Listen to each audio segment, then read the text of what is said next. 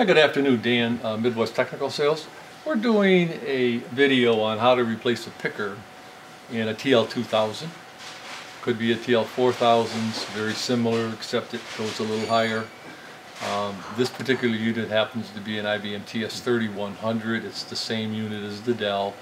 Uh, MSL 2024, same unit, and various other manufacturers will use the same thing. One of the things that we really like about this particular series is it's all hot swap stuff. So the power supply, which very seldom ever goes out, is hot swap with two screws in the back. Okay? The drive itself is hot swap with two screws in the back.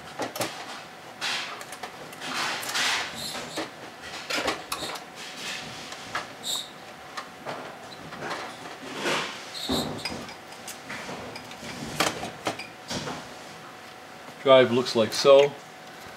You have a little circuit board here that pins uh, that go into a connector back there. And when you insert it, you just need to make sure there's plastic things inside here. Get it lined up in the plastic things on these particular rails on each side. It's nice with the cover off so you can see what you're doing. Get it lined up and make sure that it slides in and out easily, okay? You get down to the point where you're about a half inch from seating and now you have to get it into the circuit board. So this is where you have to give it just that little push, about a half inch, drive clicks in place. Have an issue with the I.O. board, library controller board. This is easy, easily hot swappable too, uh, and there are no issues with that. Um, in our other videos, we've already covered uh, magazine removal. And this would be an emergency magazine removal, for example. Um, you couldn't go through the operator's panel to do it. When the cover's off, all we have to do is push this black lever back here. Get this stuff off here. This little black lever back here, and the magazine will come out. If you don't have the cover off, and you want to get the magazine out, which we typically use are, um, and I lost mine here, uh, these little um, air uh, off of an air can. Okay, this will actually slide into a little hole on the drive, and what it'll do, it'll activate this. So you can activate this without uh, having the power on. Um, this is a new a new one, newer style, and on the right side, it doesn't have any nuts that hold it together. These nuts would loosen up, and this would flex quite a bit, okay? And the barcode reader would have a difficult time reading it.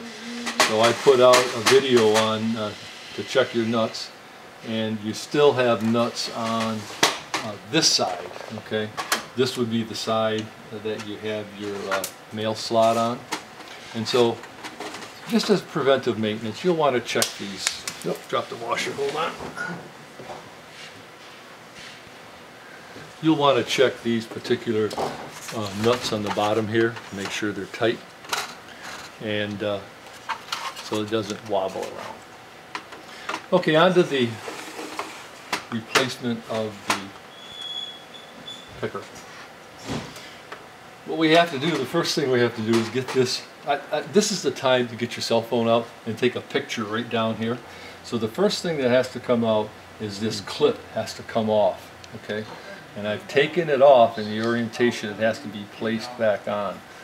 This larger um, cutout here at a 45 needs to be put so that it's facing this picker because as this rotates if you don't have it on right it'll hit the picker okay so you get that and then what you do is you take there's a, a little tab on the bottom of this particular once you have this off there's a tab on the bottom of this circuit board that holds it in place. Okay, so you have to just push that tab down and you actually have this particular unit removed.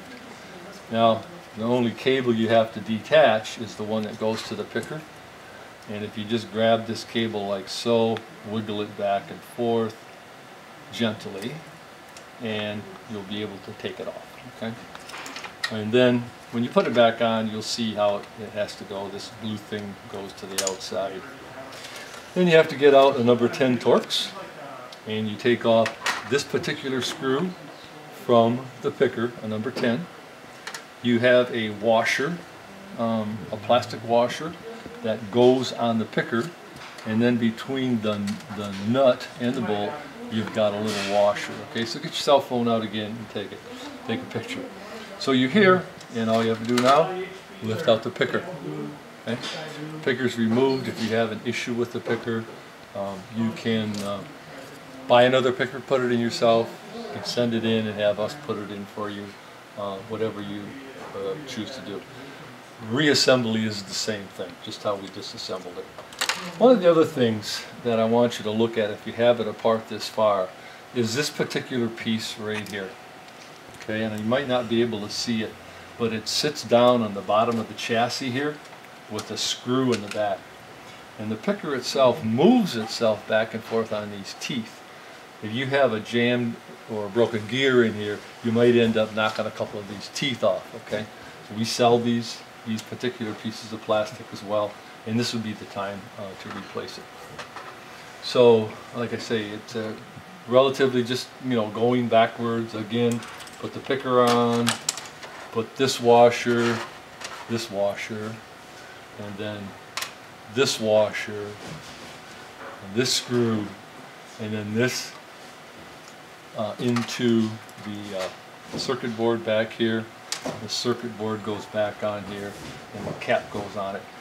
Be careful with this particular um, um, getting this circuit board out, because here's where a lot of people run into problems. They get too aggressive, and there's a little um, clip that holds the circuit board and They push it down too hard and they break it. Okay, so if you do that, you're going to have to get a hold of us and buy another one. But just take your time and gently push that uh, little pin down there, and uh, the circuit board should come out without an issue. That's about it. If you have any questions, feel free to give us a call. Thank you.